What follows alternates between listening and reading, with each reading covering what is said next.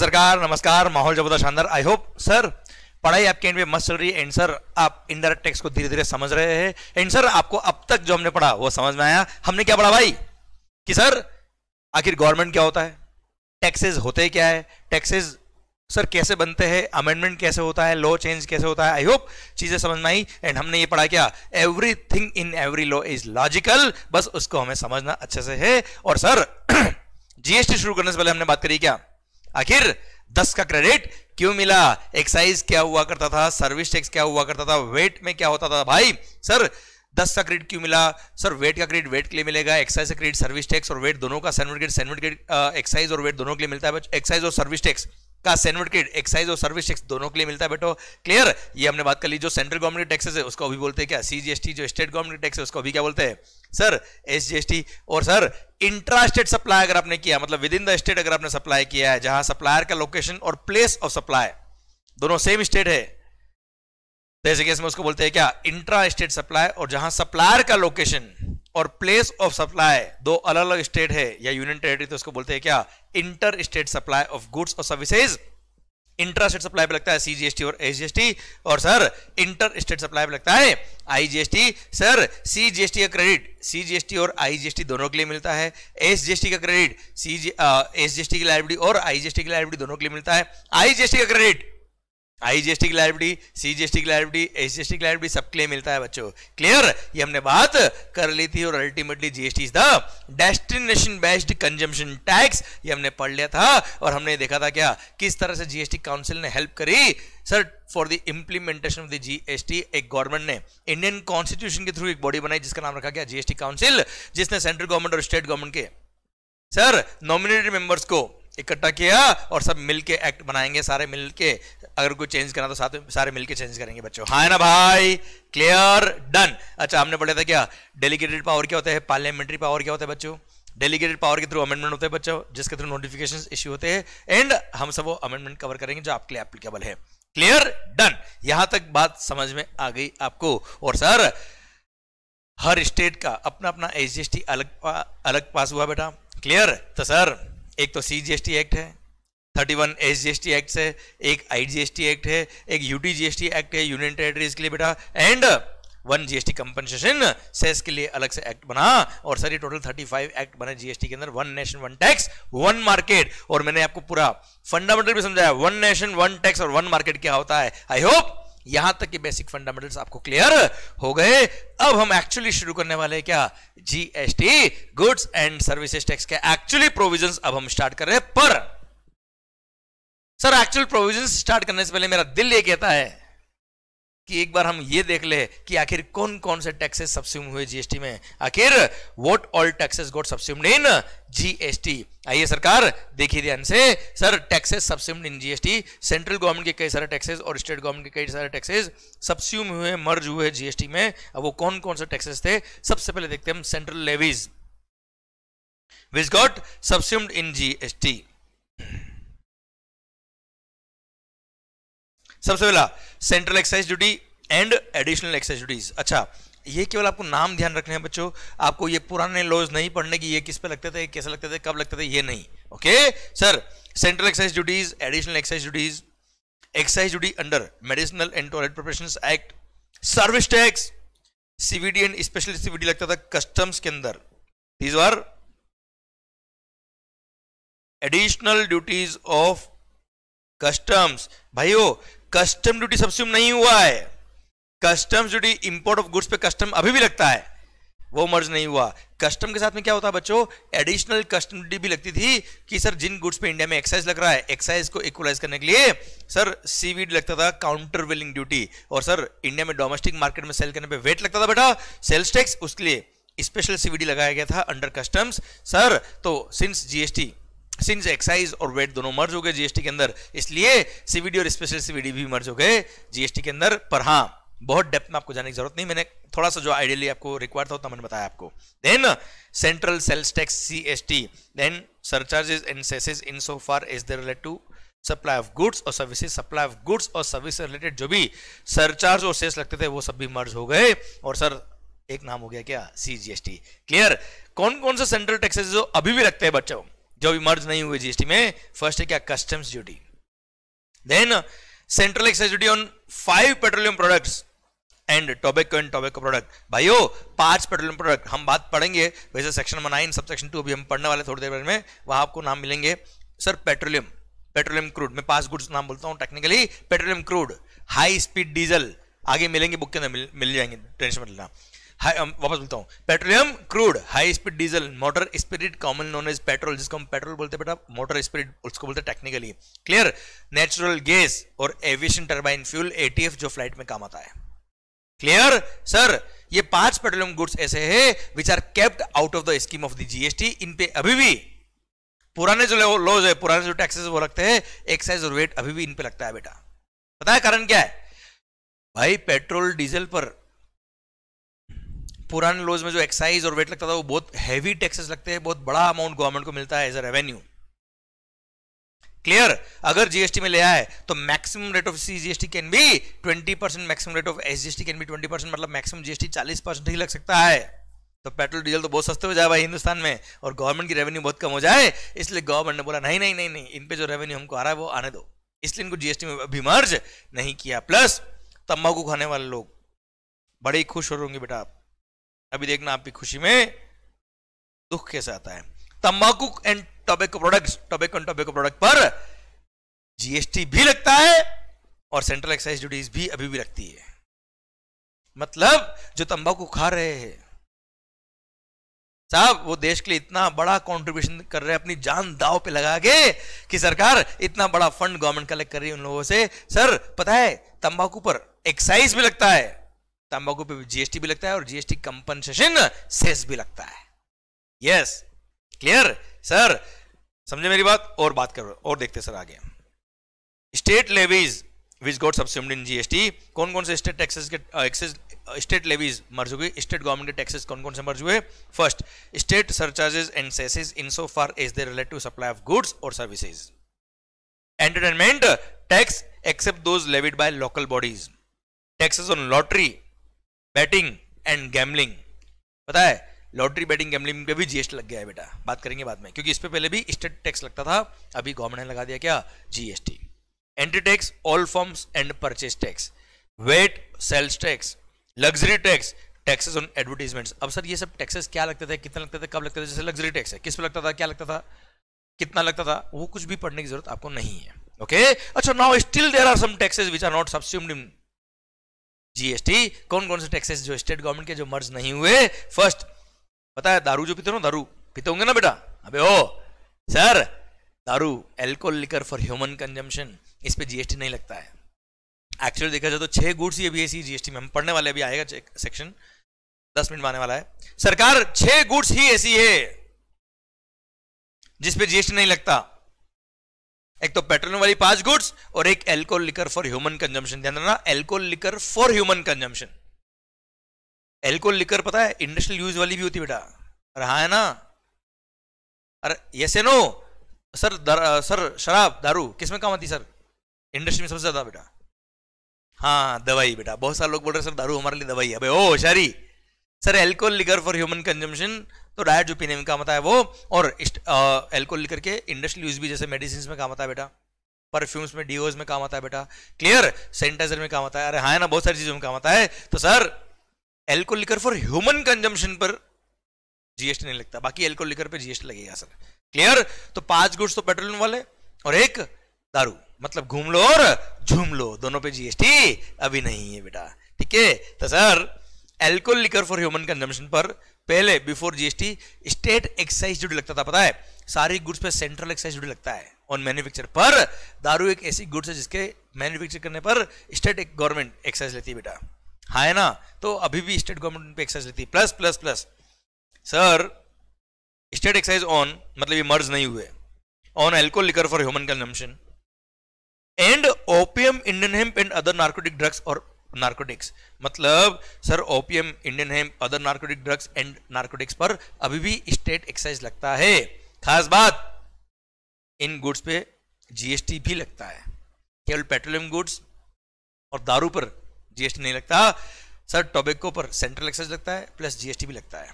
Indian hemp अरे, चरस, गंजा वगैरह खाते हो ना, लेते होंगे ना? अबे, ओ, ले मत लेना कभी। क्लियर बहुत खराब होता है सर ये। तो सर, इस पे अभी भी स्टेट एक्साइज भी लगता है और जीएसटी भी लगता है। अभी बात करेंगे, आगे मैंने समरी दे रखी आगे।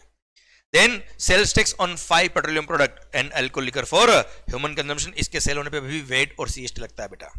ठीक है? दारू और घूम लो और झूम लो बेटा। इस पे एक्साइज और वेट दोनों बेटा भी profession tax electricity duty stamp duty toll tax road and passenger tax ये कुछ भी मर्ज नहीं हुए अंडर जीएसटी क्लियर डन अब आप कहेंगे, सर, ये तम्बाकू वाला और ये थोड़ा सा एक समरी फॉर्म मिल जाए तो थोड़ा माहौल बन जाए। सर, ये लीजिए सर। आपके लिए एक समरी मैंने बना रखी है। स्टेट और central levies to be levied after introduction of GST GST आने के बाद क्या क्या टैक्सेस किस किस पे लगते हैं बेटा? Alcohol liquor for human consumption इसके सप्लाई करने पर कौन सा टैक्स है? लिकर फॉर ह्यूमन कंजम्पशन आप देखेंगे तो सर सप्लाई होने पर जीएसटी लगता है क्या? आंसर इज़ नो कोई जीएसटी नहीं लगता। मैन्युफैक्चर होने पर एक्साइज लगता है क्या? हाँ लगता है। स्टेट एक्साइज लगता है बेटा। यहाँ चाहे तो आप लिख सकते हो स्टेट एक्साइज ड्यूटी बेटा। देन वेट लगता है हाँ लगता है। सीएसटी लगता है हाँ लगता है। सीएसटी कब लगेगा? इंटर स्टेट सेल होने पर। वेट कब लगेगा? Within the state intra state sale होने पर। क्लियर तो दारू पे वेट भी है। इंटर स्टेट सेल होने पर सीएसटी भी है। और मैन्युफैक्चर जब होता है, तब स्टेट एक्साइज लगता है मतलब दारू पे पूरा पूरा रेवेन्यू जो जाता है, वो स्टेट गवर्नमेंट को जाता है, बेटा। यही तो कारण है। Before GST alcohol liquor sale होने पर सेंट्रल गवर्नमेंट को कोई टैक्स नहीं मिलता था। एक्साइज भी स्टेट गवर्नमेंट की थी, और वेट सीएसटी भी स्टेट गवर्नमेंट का हुआ करता था। इसीलिए तो स्टेट गवर्नमेंट ने बोला, नहीं साहब, दारू पे तो हम जीएसटी नहीं मर्ज करेंगे, क्योंकि दारू, अगर जीएसटी के स्कोप में ले आए तो 50 परसेंट सी जीएसटी देना पड़ेगा 50 परसेंट एस देना पड़ेगा और स्टेट गवर्नमेंट बोला, साहब, दारू तो हम अकेले पियेंगे साथ में शेयर ना करेंगे। इसलिए सेंट्रल गवर्नमेंट बोल दिया, हमको भी दारू नहीं पीनी। क्लियर और बोला, तुम्हारे पास रखो तुम्हारी दारू। और इसका अभी भी जीएसटी मर्ज नहीं क्या रीजन ये था इसके पीछे। ठीक है? तो इस पर अभी भी स्टेट एक्साइज और वेट सीएसटी लगता है। सेकंड वो पाँच petroleum goods petroleum crude high speed diesel motor speed common known as petrol natural gas और एविएशन टर्बाइन फ्यूल सर इन पाँच गुड्स पर एक्साइज लगता है सेंट्रल एक्साइज वेट और सीएसटी लगता है ऑन सेल ऑफ़ गुड्स बेटा। ठीक है? टोबैको टोबैको गुड्स पर सर जीएसटी भी लगता है एक्साइज भी लगता है सेंट्रल एक्साइज ड्यूटी बेटा क्लियर वेट सीस्ट नहीं लगता। Indian hemp opium Indian hemp other narcotic drugs GST भी है और एक्साइज भी है। इस पे स्टेट एक्साइज है, बेटा। ये लिख दो यहाँ पे। Central state clear VAT CST नहीं लगता, वो हट गया बेटा इन पे। All other goods all other services पर जीएसटी ही लगता है। बाकी कोई टैक्सेज नहीं लगते इन गुड्स के अलावा बेटा। क्लियर डन भारत माता की जय माहौल के साथ आई होप आपको चीज़ें समझ में आ रही बेटा। ओके तो हमने ये पढ़ा क्या कौन कौन से टैक्सेस मर्ज हुए कौन कौन से टैक्सेस सब्सिम नहीं हुए जीएसटी के अंदर। ठीक है? अच्छा ये जो लास्ट मैंने टेबल बनाया बेटा आपको, आपके लिए, इसको please just have a click of this slide क्योंकि सर ये जो ऊपर कौन कौन से टैक्सेस मर्ज हुए तो मैंने चैप्टर नंबर वन में दे रखा आपको। ठीक है? ये ये बॉक्स आप प्लीज़ अपने बुक में नोट कर लीजिए या अपने बुक के अंदर। आप just have a click of this slide and you can copy in it in your notebook माहौल। फिर हम शुरू कर रहे हैं आगे। जीएसटी माहौल के साथ।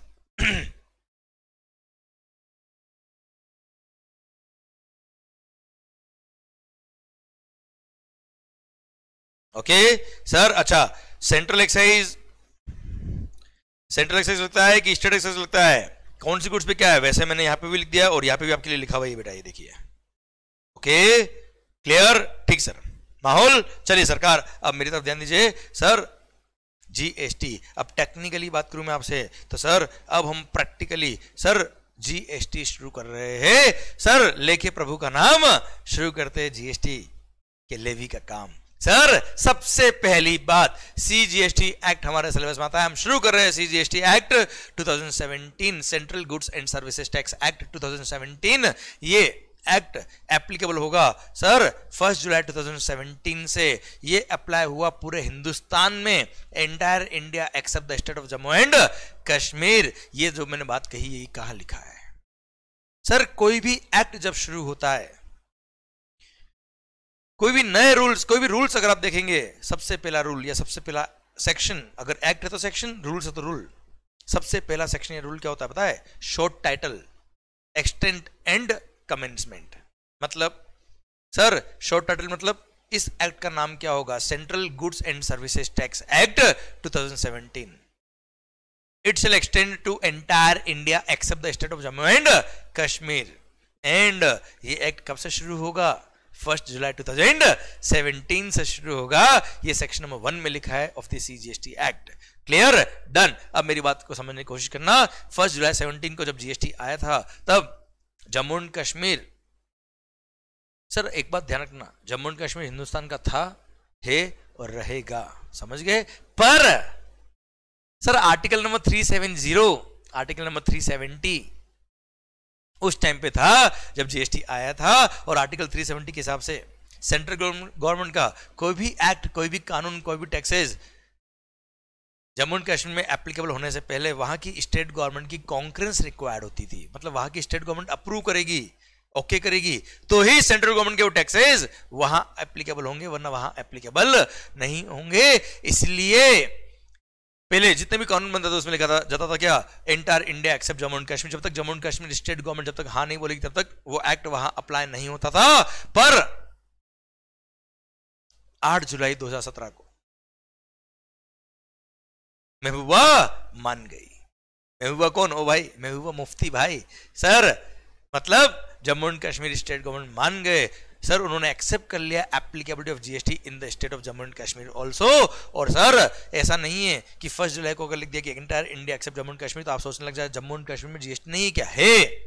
आठ जुलाई को सर महबूबा मान गई मतलब आठ जुलाई 2017 से सरकार जम्मू एंड कश्मीर में भी जीएसटी एप्लीकेबल हो गया स्पेशल ऑर्डिनेंस लाके इसको पास कर दिया गया। ओके सर कारण क्या था बेटा? अगर Jammu and Kashmir state government अगर इसको एक्सेप्ट नहीं करती तो नुकसान उन्हीं को होने वाला था, क्योंकि GST is a destination based consumption tax अगर जो गुड्स सर्विस वहाँ कंज्यूम हो रही थी जम्मू एंड कश्मीर में, अगर टैक्स जीएसटी उन्होंने एक्सेप्ट नहीं किया होता तो उनकी स्टेट कोई रेवेन्यू लॉस होता। सर हमें कोई तकलीफ़ नहीं थी, इसलिए वहाँ पे उन्होंने एक्सेप्ट करना पड़ा उनको और एक्सेप्ट किया। देश की मदद करी और देश के अंदर, पूरे अंदर, पूरे देश में इंक्लूडिंग जम्मू एंड कश्मीर में जीएसटी एप्लीकेबल हो गया। क्लियर ये आपका था सेक्शन नंबर वन अब सर सेक्शन नंबर टू में दे रही डेफिनेशन जैसे जैसे वर्ड्स काम आएँगे, वैसे वैसे हम डेफिनेशन को रेफर करेंगे। अभी मैं सबसे पहले शुरू कर रहा हूँ सेक्शन नंबर नाइन पता है बच्चों क्या होता है? कोई भी एक्ट आप पढ़ रहे हो। हमने सेक्शन वन पढ़ लिया सेक्शन टू में डेफिनेशन होती नॉर्मली हमने बात कर ली। पर सरकार, अगर कोई भी टैक्स आप किसी सप्लाई पे लगा रहे हो तो it needs authority of the law it needs authority of the law कानून की अथॉरिटी चाहिए, और वो अथॉरिटी हर टैक्स लॉ के अंदर दी जाती है। सेक्शन नंबर नाइन ने बताया हुआ है कि ऐसा कौन सा आप काम करोगे जिसकी वजह से टैक्स लगेगा। सर इंडियन कॉन्स्टिट्यूशन से पावर मिलता है सेंट्रल गवर्नमेंट और स्टेट गवर्नमेंट को टैक्स लगाने का। वो हम पढ़ेंगे। इंडियन कॉन्स्टिट्यूशन के आर्टिकल्स जो रिलेवेंट है हमारे लिए वो। सर इंडियन कॉन्स्टिट्यूशन से पावर मिलता है। कौन से टैक्स लगाने, कौन से टैक्स कौन से टैक्स सेंट्रल गवर्नमेंट लगाएगा, कौन से स्टेट गवर्नमेंट लगाएगा, कौन कौन से टैक्स दोनों मिलकर लगाएँगे। वहाँ से मिला इंडियन कॉन्स्टिट्यूशन का पावर गवर्नमेंट को और वहाँ से एक्ट बना डाला। और जब टैक्स लॉ बनते हैं टैक्स लॉ के अंदर एक सेक्शन होता है, जिसके अंदर लिखा होता है क्या? ये होने पर, ये काम करने पर ये टैक्स लगेगा। सर उसमें लिखा होता है। जैसे जीएसटी की बात करूँ तो उसमें लिखा है क्या? इंट्रा स्टेट सप्लाई करने पर सीजीएसटी और एसजीएसटी लगेगा। हाँ है ना भाई? क्लियर तो लिखा है, ये होने पे टैक्स लगेगा। ये कहाँ लिखा है? Section number nine sub section one में लिखा है। सर तो जिस सेक्शन में लिखा होता है कि ये एक्टिविटी होने पे ये टैक्स लगेगा, उस सेक्शन को बोलते हैं चार्जिंग सेक्शन क्योंकि उस सेक्शन की वजह से टैक्स लग रहा है। क्लियर तो आइए, सर, सबसे पहले हम शुरू कर रहे हैं। Charging section under GST sir, दिल थाम के सुनेगा, मस्त पॉइंट है, मज़ा आएगा आपको। माहौल बनेगा आपके एंड पर।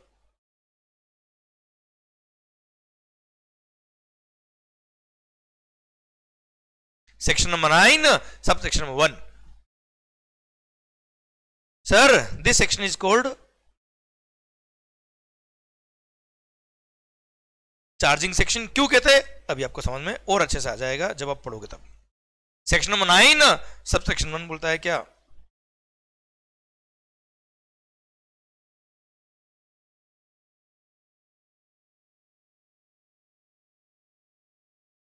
C GST shall be C GST देखो हम तो सी जी एस टी एक पढ़ रहे हैं बेटा। Section number nine sub section one of C GST act पढ़ रहे हैं कि T will be levied on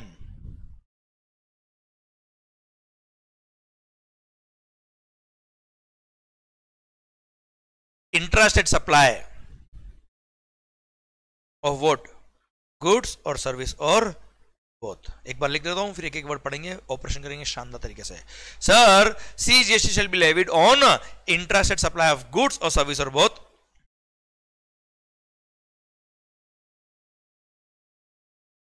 except daru alcohol liquor for human consumption here sir cgst shall be levied on intrastate supply of goods or service or both except alcohol liquor for human consumption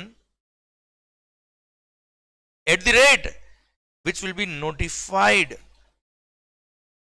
by the government. और पता है sir अगर central government कोई rate notify कर दे तो वही rate सारे स्टेट में भी एप्लीकेबल होगी बेटा।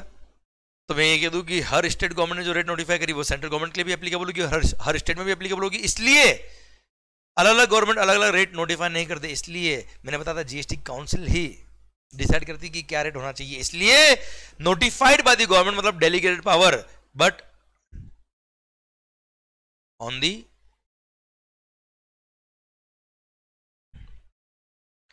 recommendation of the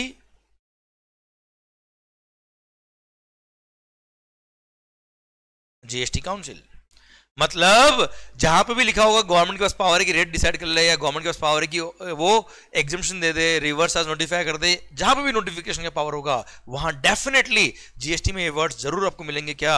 On the recommendation of the GST council क्यों?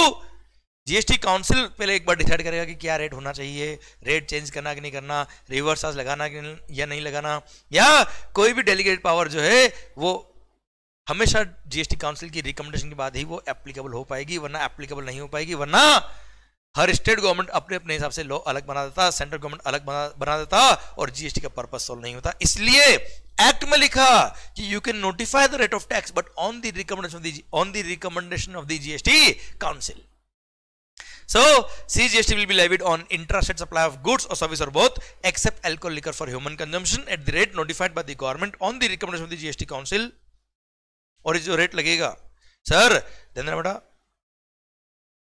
subject to maximum rate of 20 percent मतलब maximum rate of C GST I repeat maximum rate of C GST can be 20 percent मतलब maximum rate of S GST can also be 20 percent मतलब maximum rate of GST can be 40 percent ये केवल सी GST का 20 percent है बेटा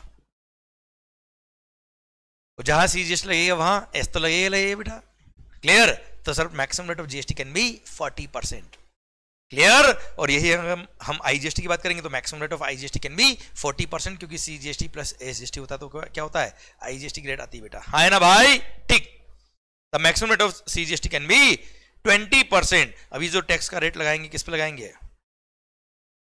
ये जो भी रेट ऑफ़ टैक्स है, किसका? ऑफ़ वैल्यू और वैल्यू डिफाइन होगा under section number 15 under section number 1515 value define किया जाएगा। वैल्यू क्या होता है? वैसे मैं आपको बताता हूँ। जिस प्राइस पे ट्रांजेक्शन हुआ है, आपने कोई गुड्स खरीदी है या आपने कोई गुड्स या सर्विस बेची है तो जितने में खरीदा जितने में बेचा that's what is called value और डिटेल में बात करेंगे बाद में. क्लियर जो डिफाइन किया सेक्शन नंबर फिफ्टीन ने. And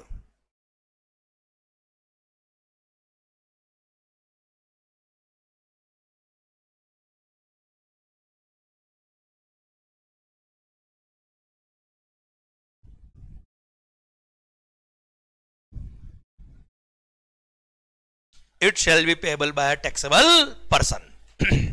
And it shall be payable by a taxable person, full stop. Clear ये हमने पढ़ा है। ये आपका section number nine sub section पूरा खत्म होता है अब। अब सर एक बार वापस से पूरा दिल थाम के देखते हैं हम सर एंड सर मस्त होके पढ़ते हैं इसको सर देखो, अभी तक मैंने केवल लिखा है। आप समझेंगे sir C GST shall be levied सरकार, सबसे पहला point levied what do mean by levy levy का मतलब क्या होता है साहब? टैक्स चार्ज होना। टैक्स लगना। हम बोलते हैं ना कि जीएसटी लगेगा, कब लगेगा? सप्लाई करने पे लगेगा। एक्साइज लगेगा, कब लगेगा? मैन्युफैक्चर करने पे लगेगा। वेट लगेगा, कब लगेगा? सेल करने पे लगेगा। कस्टम लगेगा, कब लगेगा? कस्टम ड्यूटी लगता है कब? इंपोर्ट ऑफ़ गुड्स पर बेटा एक्सपोर्ट ऑफ़ गुड्स पर तो कब लगता है? मतलब लेवी कब होता है? क्लियर तो सर सीजीएसटी लेवी कब होगा मालिक? सर इसका मतलब क्या है? सीजीएसटी चार्ज कब होगा? सीजीएसटी लगेगा कब सर क्लियर अब पढ़ो sir CGST shall be levied on intra state supply intra state मतलब विद इन द स्टेट अच्छा इंटर स्टेट सप्लाई क्या होता है? इंट्रा स्टेट सप्लाई क्या होता है? मैं एग्जांपल के थ्रू आपको समझा चुका हूँ पिछले लेक्चर में, पर सर ये शिद्दत के साथ प्यार मोहब्बत के साथ हम डिफाइन करेंगे। आईजीएसटी एक्ट पढ़ते वक्त उसका सिलेक्टेड पोर्शन आपके सिलेबस में आता है, वो हम पढ़ेंगे।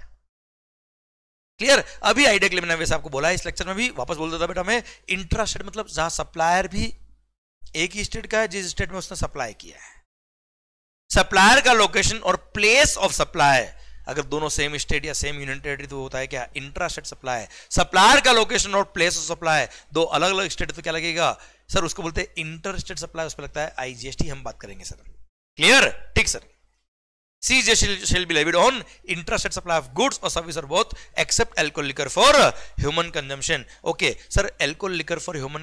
बोल दिया क्या? जीएसटी नहीं लगेगा, क्योंकि प्रोडक्शन पर स्टेट एक्सेस लगता था और सेल पर वेट लगता था। दोनों ही रेवेन्यू किसकी थी? स्टेट गवर्नमेंट की थी। सेंट्रल गवर्नमेंट तो इस पर ना एक्साइज लगाता था, ना सेल होने पे कोई टैक्स लगा, लगाता था।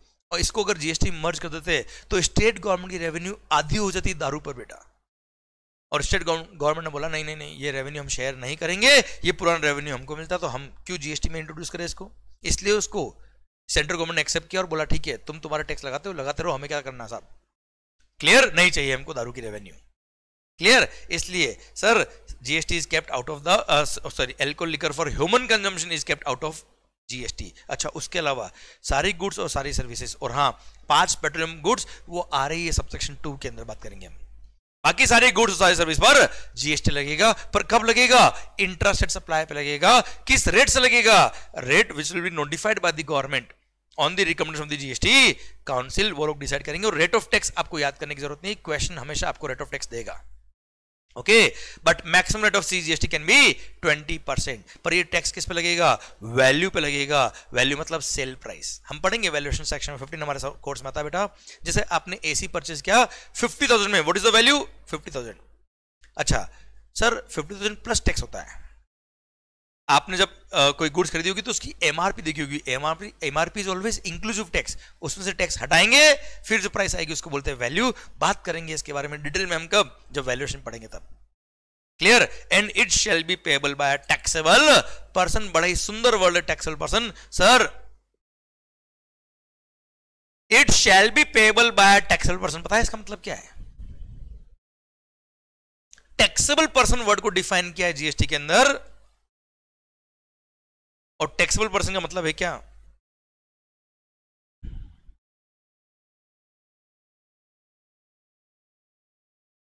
A person who is registered under GST or is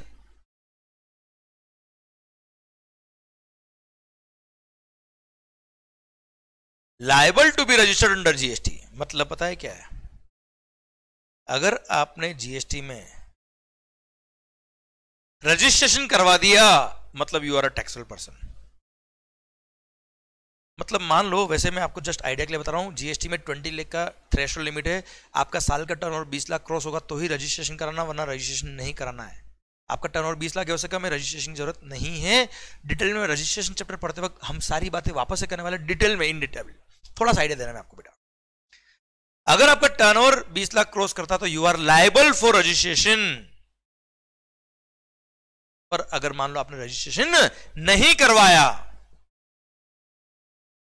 you are liable for registration under GST फिर भी आपने अगर रजिस्ट्रेशन नहीं कराया तो भी आप क्या हो? टैक्सेबल पर्सन हो।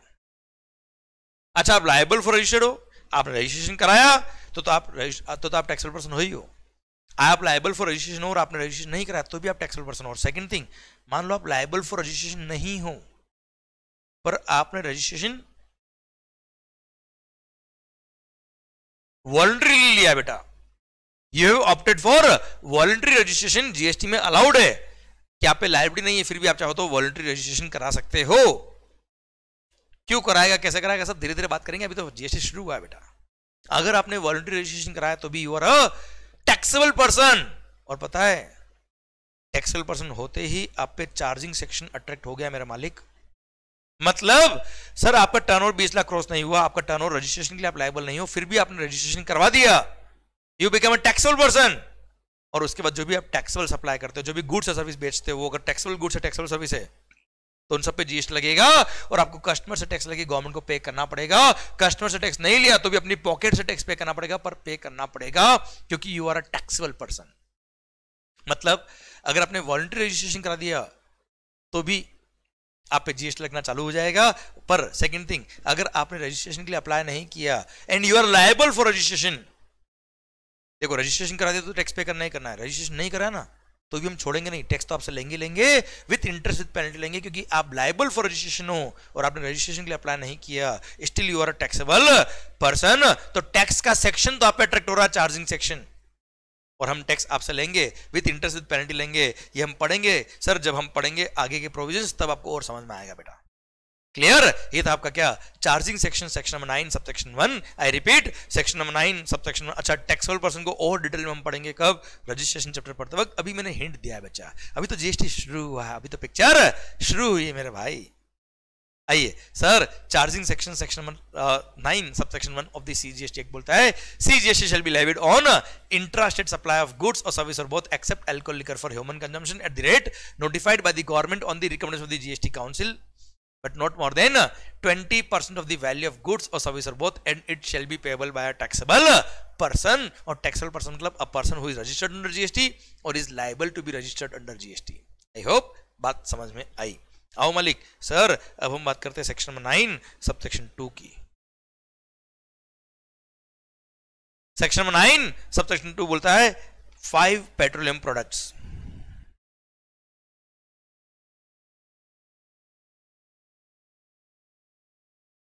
five petroleum products इन पे जीएसटी लगेगा, पर अभी नहीं लगेगा। कब लगेगा फिर?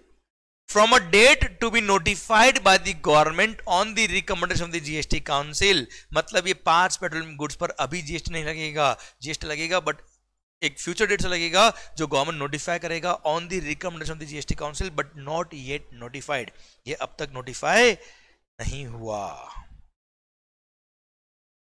मतलब ये पाँच गुड्स कौन कौन सी? Petroleum crude. क्रूड पेट्रोल जो होता है बेटा। High speed diesel diesel petroleum motor spirit common known is petrol aviation turbine fuel जो फ़्लाइट में काम आता है। एंड नेचुरल गैस ये पाँच गुड्स पे जीएसटी लगेगा but from a date to be notified by the government on the recommendation of the GST council अब तक नोटिफाई नहीं हुई, क्योंकि sir maximum rate of GST can be 40 percent और इन पे बहुत हैवी टैक्सेस लगते हैं बच्चों। एक्साइज और वेट अभी भी लगता है इन पे क्लियर और सर वो अगर हटा दे जीएसटी लिया तो maximum rate can be forty percent government का रेवेन्यू आधा हो जाएगा, आधे से भी कम हो जाएगा सर पेट्रोल तो आधे से भी कम रेट पे हो जाएगा सर इसलिए। सर अभी तक इनको जीएसटी के स्कोप में लेके नहीं आए तो eight percent there are six goods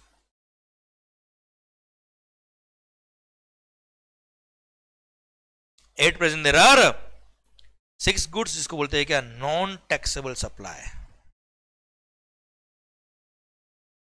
non taxable supply है सर कौन कौन सी? दारू प्लस पाँच पेट्रोल वाले गुड्स हाँ है ना? ये सिक्स गुड्स ऐसी है। ये सिक्स गुड्स ऐसी है, जिनको बोलते हैं क्या? Non taxable supply under GST क्योंकि इस पे अभी भी जीएसटी नहीं लगता है। The supply on which GST is not levied ये छह गुड्स ऐसी जिसपे जीएसटी लेवी नहीं होता, इसलिए इनको बोलते क्या? नॉन टैक्सेबल सप्लाई क्लियर मालिक। Sir section number nine sub section three बड़ा ही सुंदर सेक्शन है सर मस्त बात करता है बेटा ये। Section number nine sub section three बोलता है बेटा गवर्नमेंट के पास पावर है। देखो, जैसे ही आपको दिख जाए गवर्नमेंट के पास पावर है मतलब डेलीगेटेड पावर डेलीगेटेड पावर किसने दिया बेटा? हमने दिया, याद आया बेटा? गवर्नमेंट के पास पावर्स पार्लियामेंट्री पावर्स और गवर्नमेंट को डेलीगेटेड पावर बेटा। ये पावर हमने गवर्नमेंट को दिया कि वो डायरेक्टली नोटिफाई करके इस तरह का काम कर सकती है जो इस सेक्शन में लिखा है।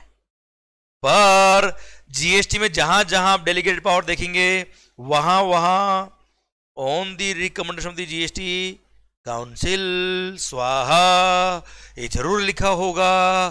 क्यों लिखा होगा? क्योंकि बिना जीएसटी काउंसिल के रिकमेंडेशन के कोई भी स्टेट गवर्नमेंट कोई भी सेंट्रल गवर्नमेंट कोई भी स्टेट गवर्नमेंट और सेंट्रल गवर्नमेंट कभी भी कोई भी नोटिफाई नहीं कर सकती, वरना वन नेशन वन टैक्स का सपना चूर चूर हो जाएगा। इसलिए central government has the power मतलब डेलीगेटेड पावर है but only and only on the recommendation of the GST council जब तक जीएसटी काउंसिल रिकमेंडेशन नहीं देगा, ये गवर्नमेंट अपना पावर एक्सरसाइज नहीं करेगी। अब पावर क्या भाई? आगे भी बात कर ले। अब मैं बार बार ये बात रिपीट नहीं करूँगा। जहाँ भी गवर्नमेंट इज़ पावर वहाँ on the on the recommendation of the GST council होगा ही होगा। ओके बेटा? ठीक। Central government has the power that on the recommendation of the GST council they can notify certain goods और service और both अच्छा goods हो या सर्विसेज़ हो और बोथ का मतलब क्या बेटा कॉम्बिनेशन ऑफ़ गुड्स सर्विस वैसे, आगे जब हम सेक्शन नंबर एट पढ़ेंगे, तब आपको समझ में आएगा कि और बोथ का प्रैक्टिकली इंटरपर्सनल लेवल पे जाएँगे तो कोई सेंस बनता नहीं। पर अभी आप स्टूडेंट लेवल पे ध्यान रखिए गुड्स हो सर्विसेज़ हो या दोनों का कोई कॉम्बिनेशन बेटा। गवर्नमेंट के पास पावर है कि वो on the recommendation on the recommendation the GST council they notify certain goods और सर्विस और बोथ और नोटिफाई करके बोल देंगे क्या? यहाँ पर, इन गुड्स और सर्विसेज़ में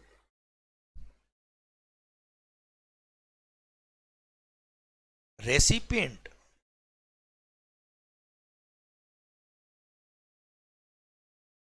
shall be liable to pay GST under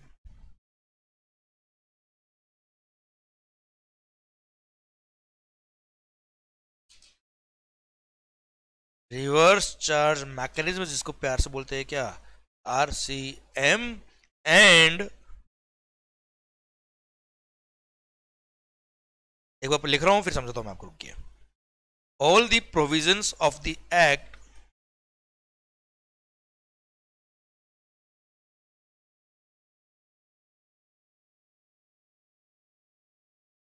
will apply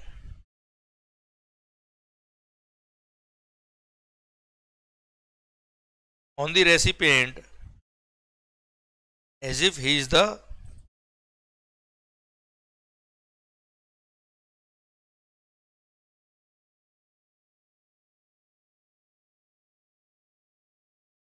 person liable to pay GST to the government directly full stop okay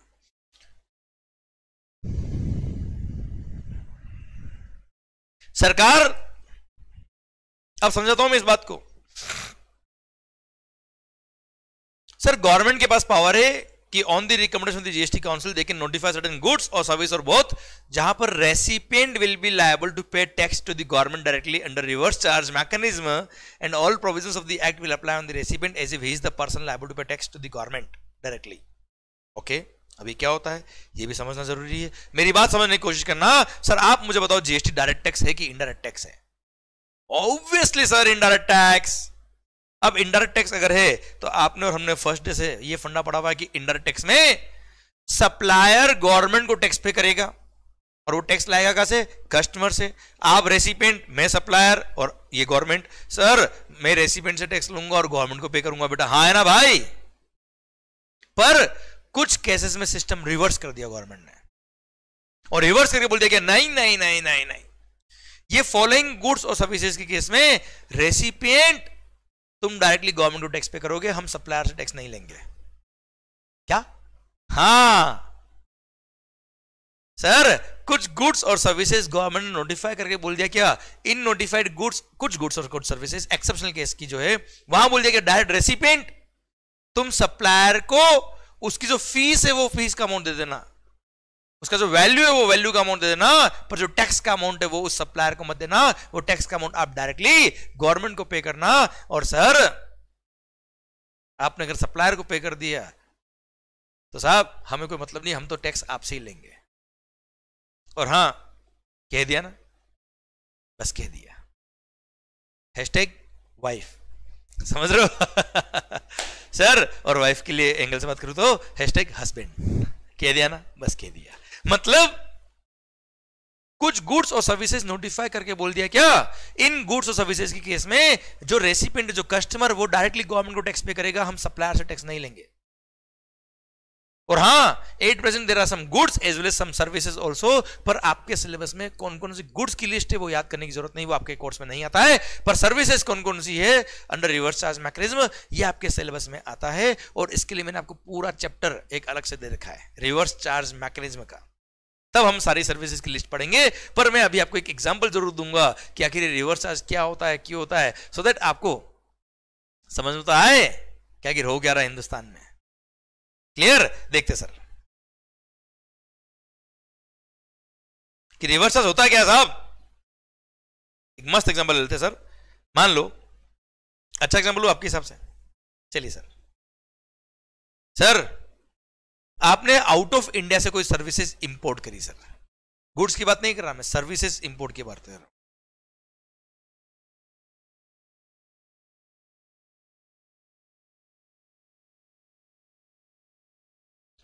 clear sir वहाँ पर।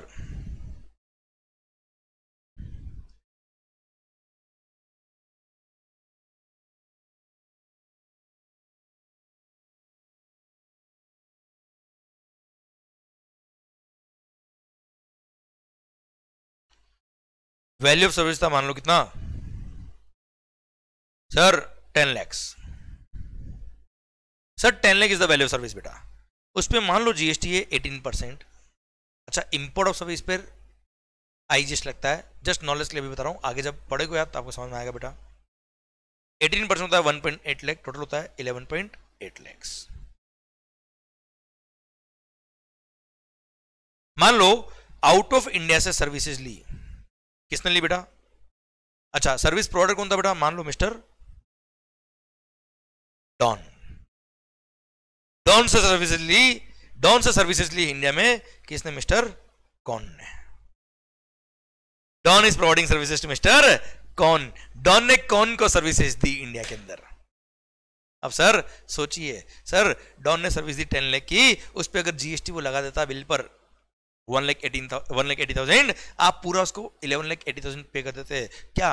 सर, वो डॉन, जिसको आपने ग्यारह लाख अस्सी हज़ार पे किया जो आउट ऑफ़ इंडिया है, वो इंडिया में आकर सर अपना जीएसटी जो 1.8 लाख रुपए था, क्या आपको लगता है वो इंडिया में आके जीएसटी में रजिस्ट्रेशन कराता? जीएसटी गवर्नमेंट को पे करता और आपको लगता है वो अपने रिटर्न फ़ाइल करता? क्या आपको लगता है ये गवर्नमेंट को जीएसटी पे करने के लिए इंडिया में आता बेटा? सर कभी नहीं। अरे आउट ऑफ़ इंडिया वाले लोग क्या कहेंगे? हम इंडिया में आके इंडिया के टैक्स क्यों पे करें भाई? तुम जानो तुम्हारा देश जाने हमसे क्यों लेना टैक्स क्लियर अब सोचिए, आपने पूरा 1180 डॉन को पे कर दिया होता। कि सर, क्या डॉन इंडिया में टैक्स पे करता? नहीं। क्या इंडियन गवर्नमेंट उस वहाँ जाके आउट ऑफ़ इंडिया जाके, क्या उससे रिकवरी कर पाती? अरे, इंडिया वालों से रिकवरी नहीं हो पा रही बेटा। आउट ऑफ़ इंडिया जाके क्या रिकवरी कर पाती, सर? क्या इंडियन गवर्नमेंट उस डॉन को पकड़ पाती? आंसर इज़ नो क्यों? क्योंकि डॉन को पकड़ना मुश्किल नहीं, नामुमकिन है। हाय ना? समझा? समझे मेरी बात? तो इसलिए इस तरह की कुछ सर्विसेज़ जहाँ प्रैक्टिकली गवर्नमेंट के लिए पॉसिबल नहीं था, या बहुत डिफ़िकल्ट डिफ़िकल्ट था सप्लायर से टैक्स लेना। तो वहाँ गवर्नमेंट ने यहाँ पर रिवर्स चार्ज मैकेनिज्म लगा दिया और सिस्टम को रिवर्स कर दिया। और सर नॉर्मली सप्लायर टैक्स पे करते हैं गवर्नमेंट को, पर इस केस में सिस्टम को क्या कर दिया? रिवर्स कर दिया। मतलब नॉर्मली सप्लायर टैक्स पे करते सिस्टम रिवर्स कर दिया। मतलब रेसिपेंट टैक्स पे करेगा गवर्नमेंट को और इस केस में कौन टैक्स पे करेगा गवर्नमेंट को? ओ भाई, मैं आपसे पूछ नहीं रहा हूँ, बता रहा हूँ। कौन टैक्स पे करेगा गवर्नमेंट को? अरे कौन टैक्स पे करेगा गवर्नमेंट को? मैं बता रहा हूँ। सर, पूछ नहीं रहा। मतलब रेसिपेंट जो मिस्टर कौन है, वो टैक्स पे करेगा गवर्नमेंट को डॉन नहीं पे करेगा। इसलिए जब कौन डॉन को जो पेमेंट करेगा, तब केवल टेन लेख का ही पेमेंट करेगा। और कौन direct one point eight lakh payable by mister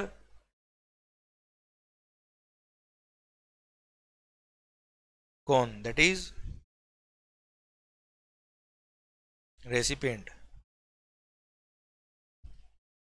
directly to government clear तो सर, कौन डॉन को केवल दस लाख ही पे करेगा, उसमें तो जीएसटी का अमाउंट डायरेक्टली गवर्नमेंट को पे करेगा मतलब गवर्नमेंट को टैक्स कौन पे कर रहा?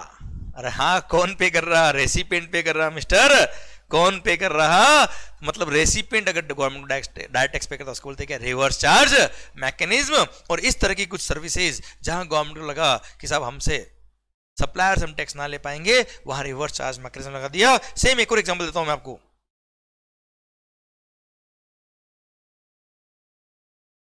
ये लो साहब।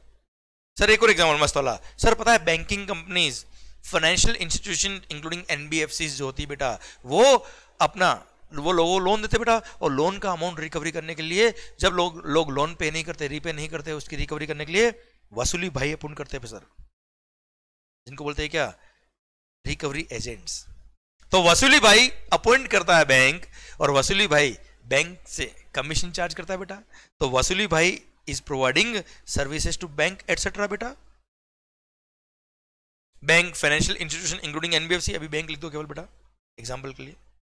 Clear sir they are providing recovery services उसकी वजह से बैंक इनको क्या दे रहा है बेटा कमीशन अब इस कमीशन के अमाउंट पे क्या लगता है हमारे मालिक? जीएसटी क्लियर अब सोचिए रिकवरी एजेंट ने अपना कमीशन का बिल लिखा बैंक को। बैंक ने कमीशन प्लस जीएसटी का अमाउंट दोनों दे दिया किसको? रिकवरी एजेंट को। सर अब आपको लगता है वसूली भाई जीएसटी ये वसूली भाई रिकवरी एजेंट आपको लगता है, ये जीएसटी में रजिस्ट्रेशन कराएँगे रिटर्न फ़ाइल करेंगे टैक्स पे करेंगे, आपको लगता है? ना? अब सर सोचिए, अगर ये टैक्स गवर्नमेंट को पे नहीं करे। सर गवर्नमेंट के दो ऑफिसर रिकवरी करने गए इनके पास, बेटा। ये तो दुनिया से रिकवरी कर रहे हैं। और इनसे रिकवरी करने के लिए दो ऑफिसर गए, वापस आए नहीं बेटा। पूरे खुद ही रिकॉर्ड हो गए। क्लियर इसलिए गवर्नमेंट बोला, हमसे ना हो पाएगा भाई। हम उनसे टैक्स नहीं ले पाएँगे और बैंक को बुलाओ बैंक तुम उनको टैक्स देना ही मत, तुम तो डायरेक्ट उनको वैल्यू जो है, उनका कमीशन जो वो दे देना। टैक्स का अमाउंट हम डायरेक्टली आपसे रिकवरी करेंगे। मतलब रिकवरी एजेंट की सर्विसेज़ के लिए रेसिपेंट है? बैंक और बैंक को बोल दिया bank you will be liable to pay tax directly to us not to the recovery agent उनको नहीं पे करेगा और वहाँ तुम ही लाइबल हो, वहाँ रिवर्स चार्ज मैकेनिज्म लगा दिया गया। तो इस तरह की कुछ सोची समझी सर कुछ सप्लाईज है गुड्स और सर्विसेज़ की, जहाँ practically it was very difficult for the government to collect the tax from the supplier वहाँ रिवर्स चार्ज मैकेनिज्म लगा दिया और वहाँ रेसिपेंट को बोल दिया you will be liable to pay tax to the government directly under RCM हाँ या ना? डन भारत माता की जय। इस तरह के लॉजिक के साथ there are some services some goods also goods की लिस्ट हम नहीं पढ़ेंगे, हमारे सिलेबस में नहीं आता सर्विसेज़ की लिस्ट हम ज़रूर पढ़ेंगे। मैंने दो एग्ज़ाम्पल देकर आपको यहाँ रोका है। सर बाकी की सर्विसेज़ बाकी के पॉइंट हम पढ़ेंगे। Chapter number seven reverse charge mechanism के टाइम पे। आई होप मज़ा आया आई होप माहौल बना बेटा। आइए मालिक। सर ये तो आपका section number nine sub section three reverse charge mechanism अब पढ़ रहे हम क्या? Section number nine sub section number four अरे मज़ा आया नहीं है भाई? माहौल? चलिए sir section number nine sub section four क्या बोलता है? ये भी रिवर्स चार्ज मैकेनिज्म का है। पर ये केवल बिल्डर के लिए एप्लीकेबल है। पढ़ना एक बार ध्यान से। सर यहाँ गवर्नमेंट ने बोल दिया क्या? अगेन सीजी मतलब सेंट्रल गवर्नमेंट सीजीएसटी एक पढ़े तो सेंट्रल गवर्नमेंट का पावर एस जी पढ़ेंगे तो स्टेट गवर्नमेंट का पावर बेटा। Central government has the power और जब भी पावर की बात आएगी तब that on the recommendation of the GST council government has the power that on the recommendation of the GST council they can notify certain goods और services और both central government is the power that on the recommendation of the GST council they can notify certain goods और services और both और उन notified goods और services और both में sir ध्यान देना बेटा वो नोटिफाइड कैटेगरी ऑफ़ गुड्स और सर्विस वो परचेज करी। किसने? सर ध्यान देना बेटा परचेज करी किसने? Notified category of registered person ने। मैं आप, आपकी अपनी लैंग्वेज में लिख रहा हूँ सो दैट आपको जल्दी समझ में आए। Purchase by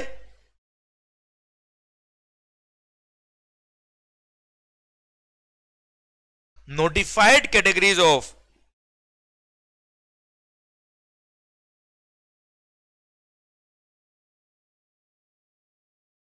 registered person और उसने परचेज किया किससे? फ्रॉम एनी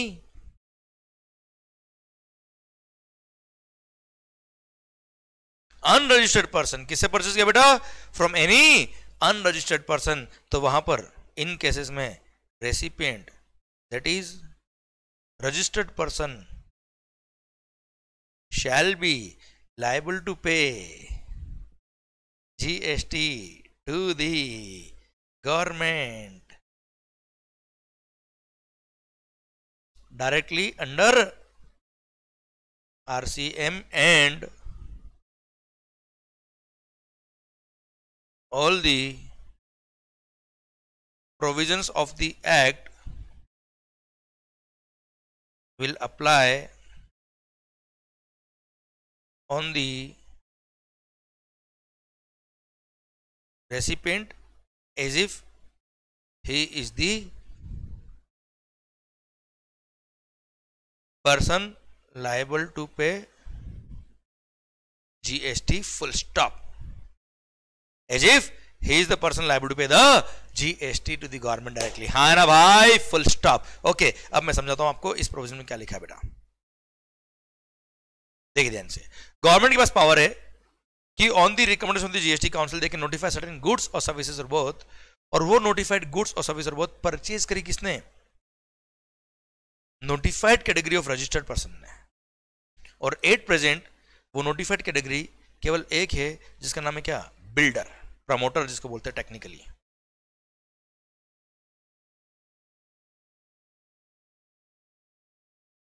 प्रमोटर मतलब हम लोकल लैंग्वेज में उनको बोलते हैं क्या? बिल्डर्स टेक्निकली इनको बोलते हैं क्या प्रमोटर टेक्निकल लैंग्वेज में लीगल लैंग्वेज में बेटा जो बिल्डिंग वगैरह बनाते हैं फ्लैट बना बना के बेचते हैं ऑफ़िस कमर्शियल मॉल वगैरह बना के उसमें ऑफ़िस बेचते हैं बेटा। हाँ ना भाई? उनको बोलते हैं बिल्डर्स प्रमोटर्स तो सर गवर्नमेंट के पास पावर है that on the recommendation GST council they can notify certain goods और सर्विसेज़ बहुत और वो नोटिफाइड कैटेगरी ऑफ़ गुड्स और सर्विस और बहुत अगर परचेज करी किसने? Notified category of registered person ने। और at present notified category of registered person केवल बिल्डर्स है। तो समझ लो बिल्डर्स ने। अगर नोटिफाइड गुड्स ऑफिसर बहुत परचेज करी किसी भी अनरजिस्टर्ड पर्सन से। किससे? अनरजिस्टर्ड पर्सन से, जो जीएसटी में रजिस्टर्ड ही नहीं उससे सीमेंट परचेज कर रहा है। मान लो builder cement is the notified goods builder cement purchase कर रहा है किससे? अनरजिस्टर्ड पर्सन से। तो ऐसे केस में उस सीमेंट पर जो रेसिपिएंट रेसिपिएंट मतलब बिल्डर उसको टैक्स पे करना पड़ जाएगा under reverse charge mechanism to the government directly full stop मतलब जैसे सीमेंट है कैपिटल गुड्स है, कुछ अदर गुड्स भी बेटा, बात करेंगे हम चैप्टर नंबर सेवन के टाइम पे, पर वहाँ पे बोल दिया क्या, अगर ये बिल्डर ने, अगर ये प्रमोटर ने अनरजिस्टर्ड पर्सन से मशीन खरीदी है अनरजिस्टर्ड पर्सन से सीमेंट परचेज किया है तो साहब, या कुछ गोड गुड्स भी है तो ऐसे केस में सिंस सप्लायर तो अनरजिस्टर्ड था बेटा। अब जब वो जीएसटी में रजिस्टर्ड नहीं है he is not liable to pay the GST उसका टर्नओवर कम है साहब 20 लाख से भी कम है। He is not registered under GST अब ऐसे केस में वो जब सीमेंट बेचेगा, तब बिल पे जीएसटी लगाएगा नहीं बेटा, क्योंकि वो जीएसटी में रजिस्टर्ड नहीं है। जो जीएसटी में रजिस्टर्ड नहीं उस पर जीएसटी की लाइबिलिटी नहीं बेटा। He is not a taxable person अब सर उसने तो टैक्स फ्री एक तरह से गुड्स परचेज कर लिया बेटा। किसने? बिल्डर ने। किससे? सर अनरजिस्टर्ड पर्सन से। तो साहब बिल्डर को बोल दिया, तू चिंता मत कर बिल्डर हम दिमाग खराब करने वाले तेरा। और बोल दिया, क्या? तूने रजिस्टर्ड से अगर सीमेंट परचेज करी हुई थी अगर रजिस्टर्ड अंडर ऐसा कोई पर्सन सप्लायर दुकानदार शोरूम वाला फैक्ट्री वाला, जो जीएसटी में रजिस्टर्ड है, उससे अगर सीमेंट खरीदी होती तो बिल पे जीएसटी लगाता ना। तो उसको जीएसटी पे करता और वो अल्टीमेटली हमको जीएसटी पे करता। अभी तूने अनरजिस्टर्ड परचेज करी तो तूने उसको जीएसटी पे नहीं किया। डायरेक्ट हमको पे कर दे। हाँ है ना? क्लियर सर और गवर्नमेंट ने बोल दिया क्या बिल्डर तू रजिस्टर्ड पर्सन से से सीमेंट खरीद या अनरजिस्टर्ड पर्सन से सीमेंट खरीद। जीएसटी तो, तो देना पड़ेगा। अगर रजिस्टर्ड पर्सन से परचेज किया होगा तो वहाँ नाइन फाइव नाइन फोर नहीं लगेगा। सेक्शन नाइन फोर कब लगता है? जब अनरजिस्टर्ड पर्सन से आपने परचेस किया हो तो। क्योंकि वो रजिस्टर्ड है तो उसने वैसे भी बिल पे जीएसटी लगा दिया होगा और आपसे जीएसटी उसने ले लिया होगा और उसने फिर गवर्नमेंट को पे कर दिया होगा। पर अगर आपने अनरजिस्टर्ड पर्सन से सीमेंट खरीदी है तो हम लगा देंगे क्या? जीएसटी रिवर्स चार्ज मैकेनिज्म में और बिल्डर तू उसको टैक्स पे नहीं कर रहा, हमको डायरेक्टली पे कर दे। क्लियर सर और इस तरह के कुछ गुड्स और कुछ सर्विसेज़ नोटिफाई करी under section number nine sub section number four और वहाँ बिल्डर को बोल दिया क्या you will be liable to pay GST to the government directly अगर अनरजिस्टर्ड से परचेज किया तो बेटा सप्लायर शुड बी अनरजिस्टर्ड तभी ये section number nine four apply होगा। देखो नाइन थ्री जो है ना बेटा सेक्शन नंबर नाइन थ्री में ऐसा कहीं नहीं लिखा था कि सप्लायर शुड बी रजिस्टर्ड या अनरजिस्टर्ड ऐसा कुछ नहीं लिखा था। सर नाइन थ्री के केस में सप्लायर रजिस्टर्ड हो या ना हो रेसिपेंट रजिस्टर्ड हो या ना हो रिवर्स चार्ज है मतलब है। वहाँ रेसिपेंट को टैक्स पे करना मतलब पे करना है रजिस्ट्रेशन कराना पड़ेगा तो कराना पड़ेगा वी डोंट केयर पर नाइन फोर के केस में नाइन फोर तभी लगेगा रिवर्स चार्ज तभी लगेगा, जब सप्लायर अनरजिस्टर्ड है और जो कस्टमर है मतलब बिल्डर रेसिपिएंट वो क्या है? जीएसटी में रजिस्टर्ड है और वो नोटिफाइड गुड्स से सर्विस परचेज कर रहा है। वो नोटिफाइड गुड्स और सर्विस कौन सी? बात करेंगे बाद में बेटा। सीमेंट मैंने एक एग्ज़ाम्पल दिया आपको। क्या लिख देता हूँ? एग्ज़ाम्पल सीमेंट तो आपको याद रहेगा इससे बेटा। क्लियर तो वहाँ पे रिवर्स चार्ज लगेगा और रेसिपिएंट बिल्डर को टैक्स पे करना पड़ेगा to the government directly under R C M reverse charge mechanism I hope चीज़ें समझ में आ रही, माहौल बन रहा आपके इन पे बेटा. क्लियर डन अच्छा ये जस्ट मैंने सेक्शन नाइन में आ रहा है, इसलिए मैंने यहाँ बताया. Otherwise in detail in depth हम पढ़ेंगे इसको कहा?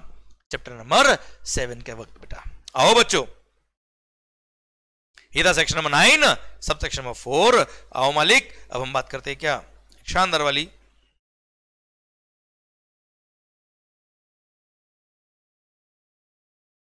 section number nine sub section number five बहुत ही शानदार पॉइंट है सर ये। मस्त माहौल वाला पॉइंट है सर ये। Section number nine sub section five बोलता है क्या?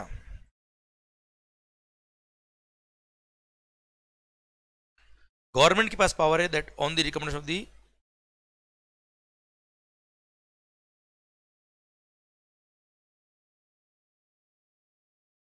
on the recommendation of the GST council they can notify ध्यान से देखना बेटा। Certain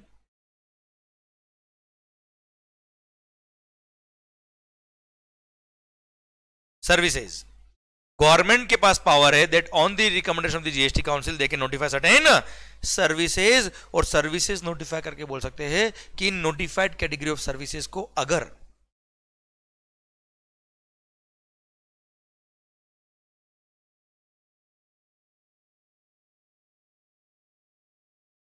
if supplied through electronic commerce operator ECO full form लिख देता हूँ मैं आपको।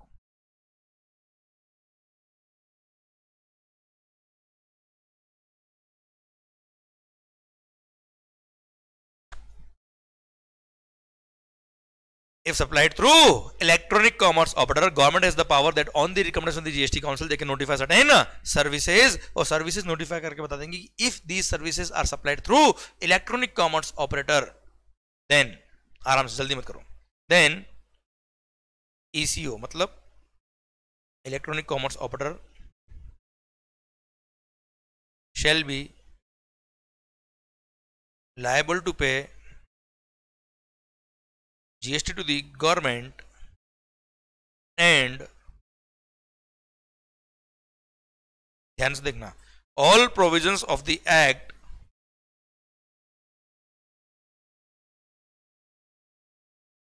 shall apply on the ECO as if, दिल थाम के देखना क्या लिख रहा हूँ मैं अब। As if ECO is the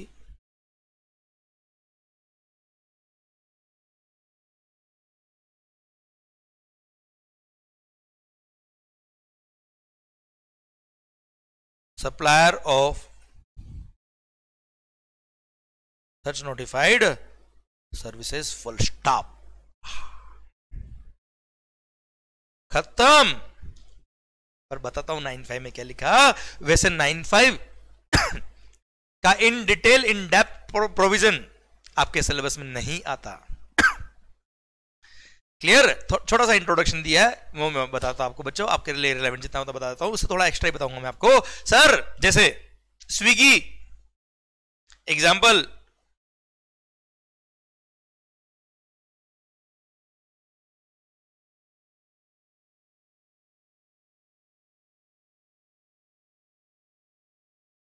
ओला ऊपर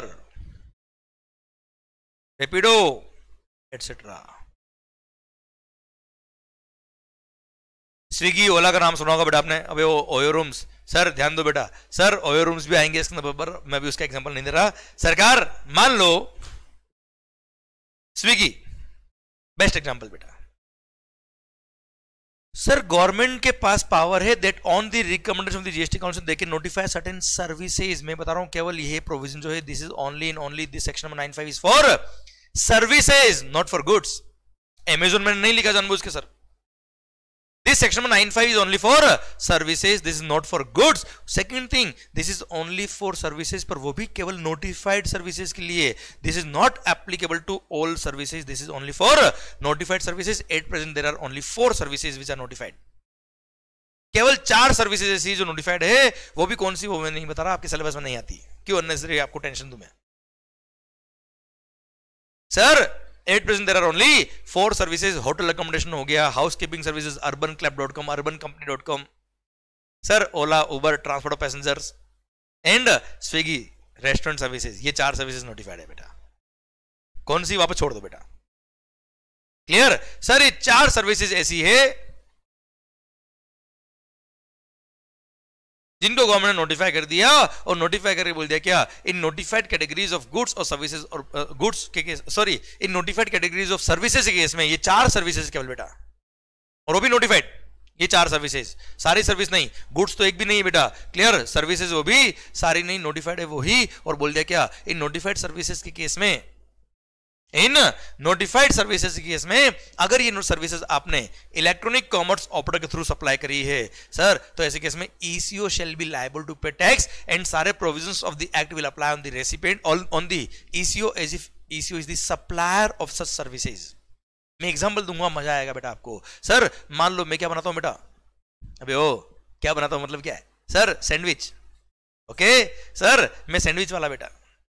आप जब घर से निकलते होंगे, चार कदम दूर आके थोड़ा निकलते होंगे, वो पानी पूरी वाला खड़ा रहता है ना बेटा, उसके जस्ट पास में एक सैंडविच वाला भी बेटा, वो मैं ही हूँ, मान लो। क्या करता हूँ बेटा मैं? सर सैंडविच बनाता हूँ बेटा मैं। अब आप बोलेंगे, ये क्या कर रहा है? मक्खन लगा रहा हूँ बेटा। सर बटर लगा रहा हूँ। ओके किस पे? ब्रेड पे, भाई, आप पे नहीं।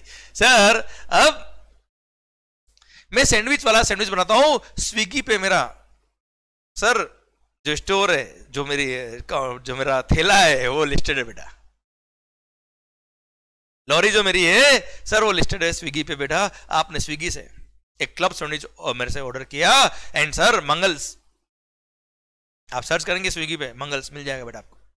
एंड सर वहाँ से भी स्विगी से मैंने सैंडविच आपको सप्लाई कर दिया। ऑनलाइन स्विगी का पर्सन आया और सर आपने ऑर्डर दिया। उसका पर्सन आया डिलीवरी लेने के लिए। मैंने सैंडविच बना के रखा रेडी रखा, उसने ऑर्डर लिया और आपके यहाँ डिलीवर कर दिया। अब सोचिए एक्चुअली रेस्टोरेंट सर्विस देने वाला कौन? ये सैंडविच वाला बेटा। सैंडविच बनाया तो मैंने बेटा। एक्चुअली रेसिपेंट ऑफ़ सर्विस कौन? आप जिसने सैंडविच खरीदा है मेरे से बेटा। एक्चुअली सप्लायर ऑफ़ सर्विस में हूँ एक्चुअल रेसिपेंट ऑफ़ सर्विस आप हो, पर आपने ऑर्डर किया थ्रू इलेक्ट्रॉनिक कॉमर्स ऑपरेटर मैंने सर्विसेज़ सप्लाई करी through Swiggy electronic commerce operator sir वो स्विगी ने क्या किया? आपको और मेरे को मिलाया बेटा, एक प्लेटफॉर्म तैयार किया electronic commerce operator aggregator model of business बोलते बेटा। इसमें बहुत सारे सप्लायर और बहुत सारे सर्विसेज़ को इसने एग्रीगेट कर दिया ऑन अ सिंगल मॉडल नाम क्या बेटा? स्विगी ओला ओवर भी देख सकते हो, बेटा एग्जांपल के लिए अब एक्चुअली सप्लायर सर्विस में था। एक्चुअली रेसिपेंट ऑफ़ सर्विस आप थे। अब सर ये सर्विसेज़ में स्विगी के थ्रू सप्लाई कर रहा हूँ। अब आप इस सैंडविच वाले की शक्ल देख के बताइए सर क्या आपको लगता है कि सर ये जीएसटी में रजिस्ट्रेशन कराएगा टैक्स पे करेगा रिटर्न फ़ाइल करेगा? सर ये काम करेगा कि सर सैंडविच बनाएगा, बेटा? तो प्रैक्टिकली गवर्नमेंट को समझ में आ गया कि ये बहुत बड़ा बिज़नेस चल रहा है, बहुत अच्छा बिज़नेस चल रहा है and it is very easy to collect the tax from the Swiggy instead of collecting the tax from the sandwich वाला बेटा या रेस्टोरेंट एग्ज़ाम्पल बन दिया बेटा क्लियर इसलिए वहाँ गवर्नमेंट ने बोल दिया क्या यहाँ लगाओ section number nine sub section five और वहाँ गवर्नमेंट ने सर्विस को नोटिफाई करके बोल दिया क्या कि साहब ये रेस्टोरेंट सर्विसेज़ अगर आपने सप्लाई करी थ्रू किसी इलेक्ट्रॉनिक कॉमर्स ऑपरेटर के थ्रू तो ईसीओ e स्विगी जो को भाई साहब, आपको टैक्स पे करना है। एंड पता है स्विगी का रेसिपेंट ऑफ़ सर्विस है क्या? सोचे देखिए रेसिपेंट ऑफ़ सर्विस तो आप वो सैंडविच खाने वाले सप्लायर ऑफ़ सर्विस एक्चुअली में था। स्विगी तो आपको और मेरे को मिलाने वाला था, बेटा। ई कॉमर्स ऑपरेटर क्लियर पर for the purpose of GST आपको टैक्स पे करना। पर आप मुझे बताओ, क्या स्विगी रेसिपेंट है? नहीं। Swiggy will be treated as if Swiggy is the supplier of such services clear और सारे provision of the act will apply on the recipient on the ECO as if ECO is the supplier of such services. और sir इसीलिए Swiggy Zomato Ola Uber इनको tax pay करना पड़ता है। And पता है, इस section number nine sub section five को इसीलिए फॉरवर्ड चार्ज मैकेनिज्म बोलते हैं। इसको रिवर्स चार्ज मैकेनिज्म नहीं बोलते।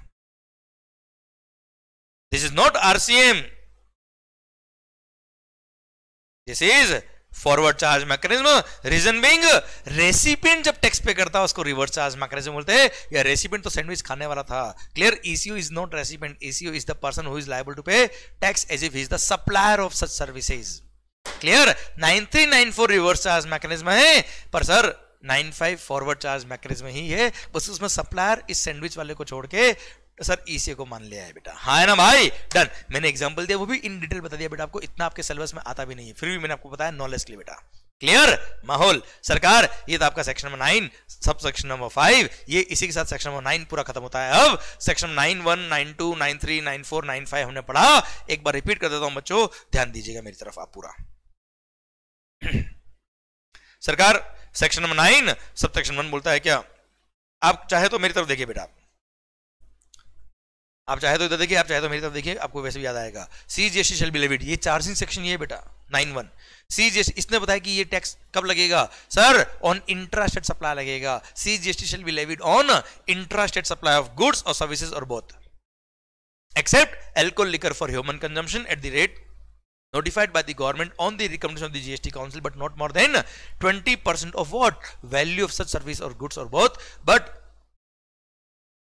sir, it shall be payable by a taxable person or taxable person means a person who is registered under GST or is liable to be registered under GST.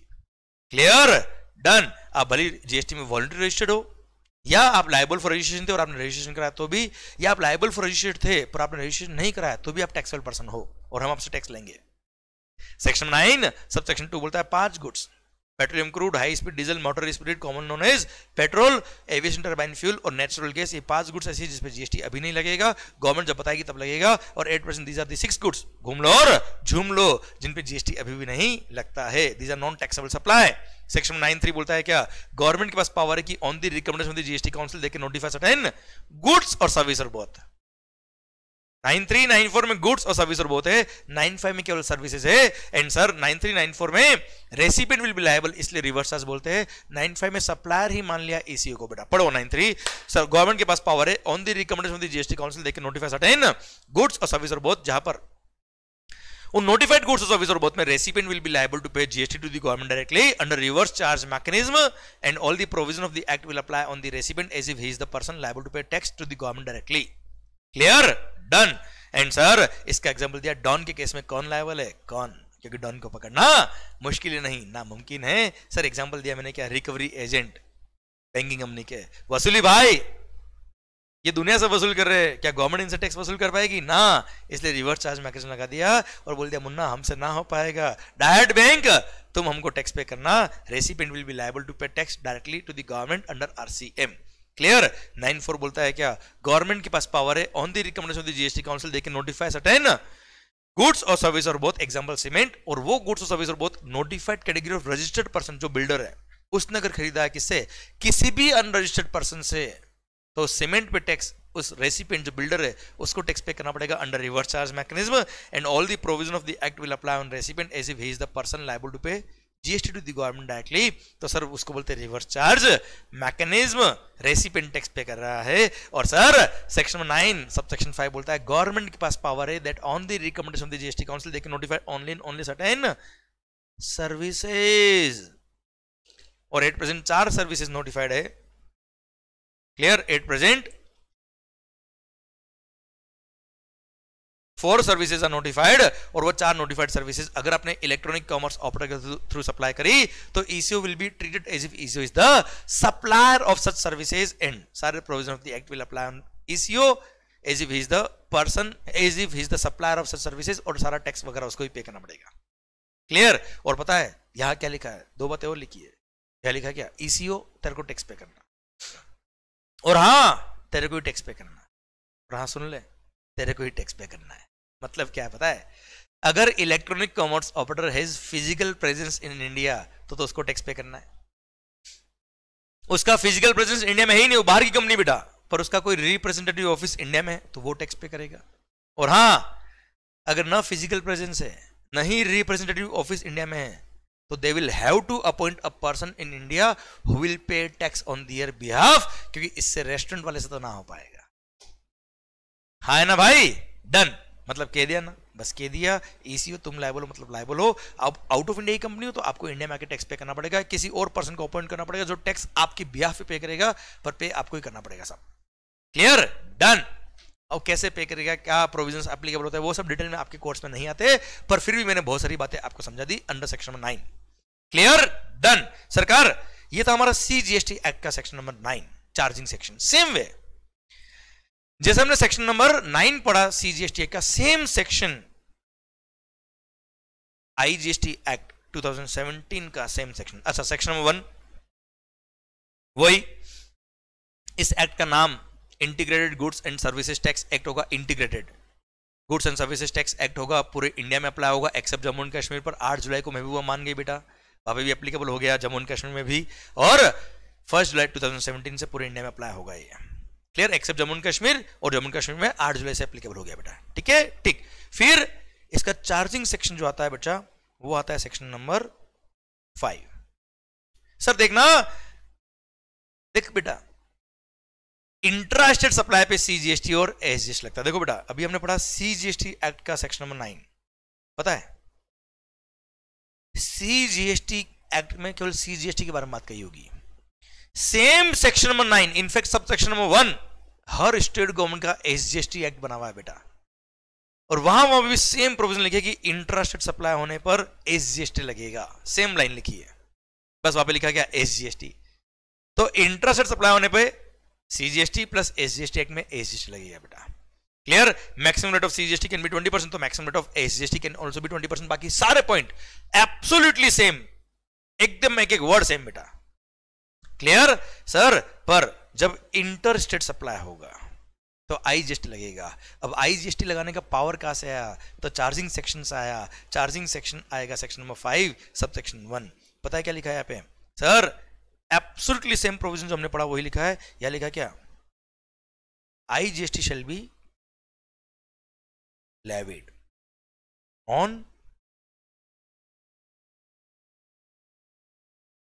interstate supply of what?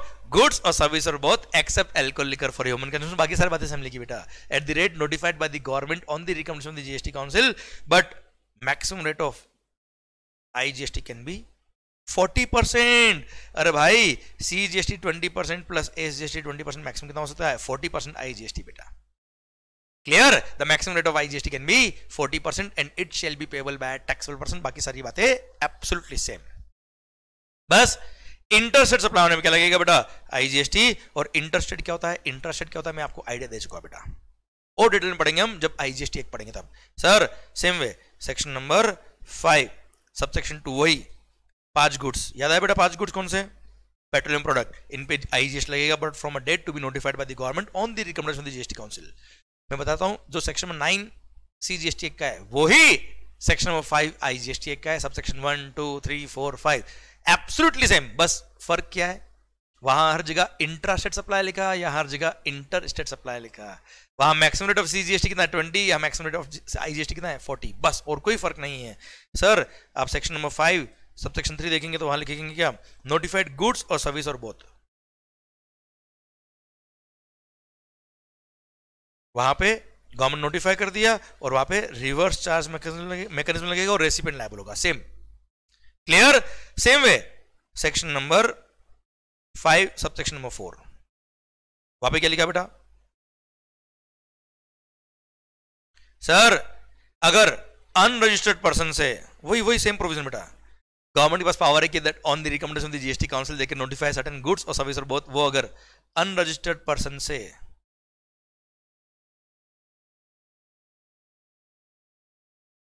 Notified goods और service और both अगर purchase के किसने? Notified, registered person जो at present कौन है बेटा? Builder, promoter. तो ऐसे केस में आरसीएम लगेगा and builder will be liable to pay GST to the government directly बेटा। हाँ है ना भाई? Clear done same point copy paste बस वहाँ पे इंटरस्टेट था, यहाँ इंटरस्टेट है बेटा। Same way section number five sub section five अगर आपने इलेक्ट्रॉनिक कॉमर्स ऑपरेटर के थ्रू वो नोटिफाइड सर्विसेज़ वो याद है, पाँच सर्विसेज़ चार सर्विसेज़ बेटा, वो अगर आपने सप्लाई करी तो ECO will be liable to pay GST यहाँ पे बस इंटरस्टेट सप्लाई होता तो सी और एस लगता इंटरस्टेट सप्लाई तो आई जी लगेगा बेटा एब्सोल्युटली सेम क्लियर डन तो एक बार हमने वापस रिवाइज कर लिया एक तरह से आईजीएसटी एक्ट के अंदर section number five one five two five three five four and five five एक बात और बस, पता है?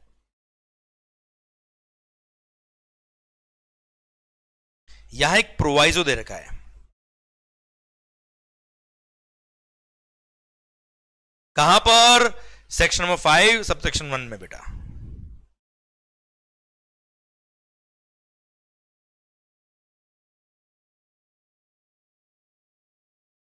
क्या प्रोवाइजो पता है?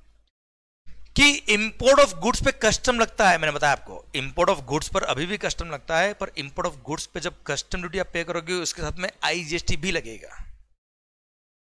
क्या क्या क्या लिखा बेटा?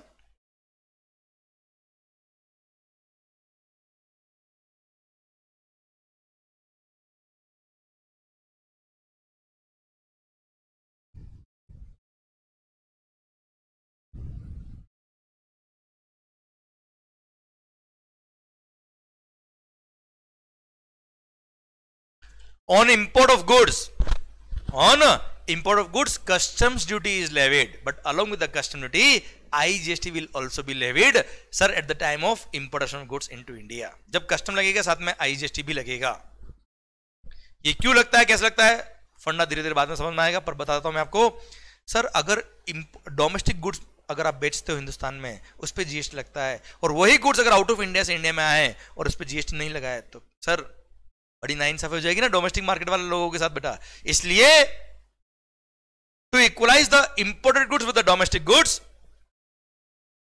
IGST is also levied on import of goods बस इतना ही आप ध्यान रखिए, बाकी कस्टम आपके कोर्स में आता नहीं, वरना मैं आपको बहुत डिटेल में मस्त वाला इसका सिस्टम समझाता। बस अभी इतना ही ध्यान रखो बेटा। कि सिंस डोमेस्टिक मार्केट में गुड्स बेचने में लगता है क्या जीएसटी तो वही गुड्स अगर आपने आउट ऑफ़ इंडिया से इंपोर्ट किया तो उस पर भी लगना चाहिए जीएसटी बेटा। इसलिए वहाँ लगा दिया आईजीएसटी बस, अभी इतना ही रिलेवेंट है, इतना ही ध्यान रखिए बेटा। और आगे बात करेंगे तो समझ में आएगा आपको। क्लियर डन तो ये था क्या? Section number five which is the charging section under IGST act clear done सरकार आई होप चीज़ें समझ में आई आपको बेटा। अच्छा चल, मुझे बता, एक चीज़ बताओ मेरे मालिक। इंट्रा स्टेट सप्लाई पे क्या लगता है? सीजीएसटी और एसजीएसटी और अगर आप यूनियन टेरिटरी के अंदर हो और इंट्रा स्टेट सप्लाई करते हो इंट्रा स्टेट तो सीजीएसटी और यूटीजीएसटी लगेगा। और भले यूनियन टेरिटरी में हो, भले आप किसी स्टेट में हो इंटर स्टेट सप्लाई करते हो तो क्या लगेगा हमेशा? आईजीएसटी क्लियर ये कहाँ से पढ़ा हमने? चार्जिंग सेक्शन से पढ़ा। ये कैसे पता पड़ा आपको? ये कहाँ लिखा है कि सर इंट्रा स्टेट सप्लाई पर सीजीएसटी लगेगा इंटर स्टेट सप्लाई पर आईजीएसटी लगेगा। कहा लिखा है? Section number nine one of the CGST act section number five one of the IGST act में लिखा। इसलिए उन सेक्शन को बोलते हैं चार्जिंग सेक्शन क्योंकि उनमें जो लिखा है, उसकी वजह से टैक्स लग रहा है। उसकी वजह से टैक्स चार्ज हो रहा है। दैट्स वाई दो section are called charging section clear माहौल सर डन अब साहब, यार मुझे एक लाइन बताओ। एक लाइन में बताओ, ऐसा कौन सा काम कर रहे हो जिसकी वजह से जीएसटी लग रहा है?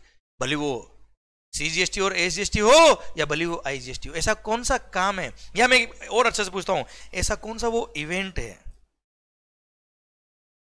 ऐसा कौन सा वो इवेंट है जिसके होने पे ये टैक्स लग रहा है?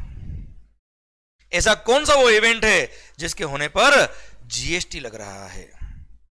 ऐसा कौन सा वो इवेंट है जिसके होने पे जीएसटी लग रहा है? सर टैक्सेबल इवेंट कहते हैं उस इवेंट को, जिसके होने पे कोई पर्टिकुलर टैक्स लगता है, उस टैक्स के लिए that event is called taxable event तो सर आप मुझे बताओ जीएसटी कब लगता है? मैन्युफैक्चर पे। जीएसटी कब लगता है? सर सप्लाई पर। अरे भले इंट्रा स्टेट सप्लाई हो या इंटर स्टेट सप्लाई हो, लगता जीएसटी कब है? सर, सप्लाई पर। भले सी जीएसटी एस जीएसटी हो या आई जीएसटी हो, अरे इंट्रा स्टेट हो या इंटर स्टेट हो जीएसटी कब लगता है मेरे मालिक? सप्लाई पे लगता है। सर, ऐसा वो इवेंट जिसके होने पे ये टैक्स लगता है that's what is called taxable event वो इवेंट जिसके होने पे कोई टैक्स कोई पर्टिकुलर टैक्स एबल होता है मतलब वो टैक्स लगता है that event is called taxable event the taxable event under GST is supply the taxable event under GST is supply and sir ये कहाँ लिखा? चार्जिंग सेक्शन में लिखा था, हमने पढ़ा था कि इंटरस्टेट सप्लाई पर सीजीएसटी और एजीएसटी लगता है इंटरस्टेट सप्लाई पर आईजीएसटी लगता है मतलब अल्टीमेटली जीएसटी लगता है सप्लाई पे? अब बात आती क्या? What do mean by supply ये होता है क्या आखिर सप्लाई सरकार, हमने पढ़ा कौन कौन से टैक्सेस सबसे हुए जीएसटी के अंदर? सर सेंट्रल गवर्नमेंट के टैक्सेस भी और सर्विस टैक्स वगैरह भी सर स्टेट गवर्नमेंट के टैक्सेस भी मर्ज हुए बेटा। तो सर उन सबको मर्ज करके एक सिंगल टैक्स लगाया, इसलिए उन सबके इवेंट को मर्ज करके सप्लाई बनाया। इसे सप्लाई इंक्लूड्स हम पढ़ेंगे। इसको बहुत शिद्दत से डिफाइन किया है section number seven of the CGST act में। बहुत ही शिद्दत से प्यार, मोहब्बत से डिफाइन किया। द टर्म सप्लाई को section number seven of this act में और लिखा गया supply includes all forms of supply sale exchange barter transfer lease licence rental सब कुछ आया बेटा इसके अंदर। हम पढ़ेंगे उसको अगले सेशन के अंदर। सेक्शन नंबर सेवन में डिफाइन किया द टर्म सप्लाई ये सप्लाई जो ना, ये हिंदुस्तान की तारीख अगर आज की तारीख में बात करें तो हिंदुस्तान की सबसे इंपॉर्टेंट और सबसे शानदार डेफिनेशन है सप्लाई की। क्योंकि अगर कोई ट्रांजेक्शन सप्लाई के स्कोप में आएगा तो तो जीएसटी लगेगा। कोई पर्टिकुलर ट्रांजेक्शन सप्लाई के स्कोप में आएगा ही नहीं। तो जीएसटी लगेगा ही नहीं सर और सर इन सारे टैक्सेस को मर्ज करके एक साथ लगाना है जीएसटी तो इसलिए गवर्नमेंट ने भी बहुत सोच समझ के डेफिनेशन रखी सप्लाई की जो हम पढ़ेंगे अगले सेशन में। आई होप मज़ा आया आपको। आई होप जीएसटी स्टार्ट हो गया और स्टार्ट आपको बहुत अच्छा मिला होगा जीएसटी का बेटा। माहौल के साथ। क्लियर सरकार प्लीज़ एक बार जस्ट आ, मैं आपको आज जो मैंने नोट कराया वो ओपन करो बेटा ये थर्टी फाइव एक्ट वगैरह हमने पढ़े थे बेटा one nation one tax one market माहौल के साथ बेटा। क्लियर सर यहाँ से मैंने शुरू किया सीजीएसटी एक्ट का section nine sub section one please have a click of the slides बेटा। इसको अपनी नोटबुक में नोट करिए बेटा प्लीज़ रिक्वेस्ट लेक्चर को पोज करके भी आप नोट कर सकते हो अपने नोटबुक में या फिर you can have a screen या फ़ोटो ले लीजिए इसका और फिर आप अपनी नोटबुक में ज़रूर नोट करिए बेटा इनको। आ, ये कलर करके हटोगे बेटा।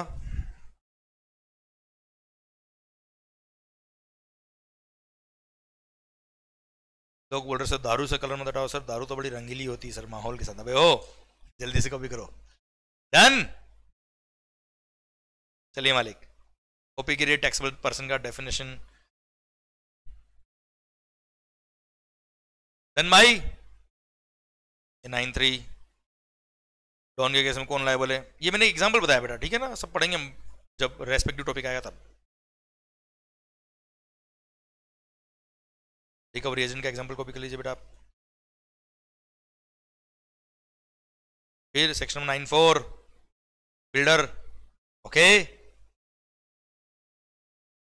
nine five ECO electronic commerce operator Ola Uber Swiggy okay sir same sections IGST act में दे रखे बेटा section number five charging section बेटा। लिख दूँ क्या साइड में एक मिनट, रुको।